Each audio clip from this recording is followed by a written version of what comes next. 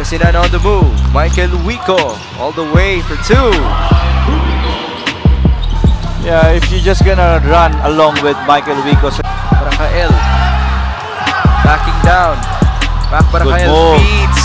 That's a gimme for Mike Wico. In the history of the MPBL. oh no, and he can be an inspiration na a player that works really hard, a player that works with a lot of intensity, a lot of pride. Bicolania, 3 out of 9 naman para dito sa Pangasinan Heatwaves. Another offensive rebound. Michael Wico for two.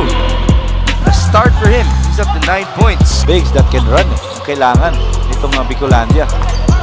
Six minutes played by Makabalog in the first half. As Wico scores, he has a double-double after Floaters niyan. Jens Nutel and J- Coach Jens Nutel and Coach Jer Kawaling.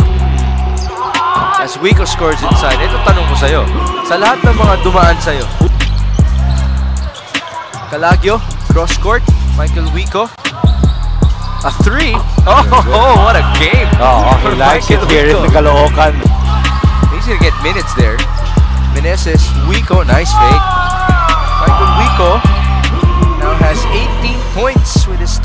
Michael